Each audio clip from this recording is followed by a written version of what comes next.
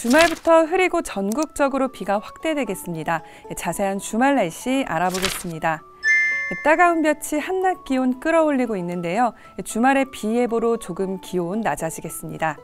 일요일까지 소나기와 비 소식으로 우산 쭉 챙기셔야겠는데요. 석가탄신일인 토요일 충청과 영남 지역에 오후부터 소나기가 내리겠고 밤부터는 수도권과 강원도에서 비가 시작되겠습니다. 비는 일요일 전국으로 확대돼서 월요일까지 이어질 전망입니다. 비가 오면서 일요일 서울 한낮 기온 22도로 반짝 선선했다가 월요일부터는 다시 기온이 오를 전망입니다. 소나기나 비가 국지적으로 돌풍과 벼락을 동반해 강하게 쏟아지는 곳 있으니까요. 교통안전 등에 유의하시길 바랍니다. 토요일 아침 최저 기온은 14도에서 19도, 낮 최고 기온은 23도에서 28도가 되겠습니다.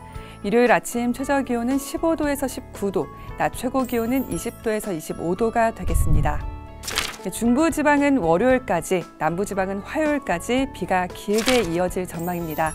이상 주말 날씨였습니다.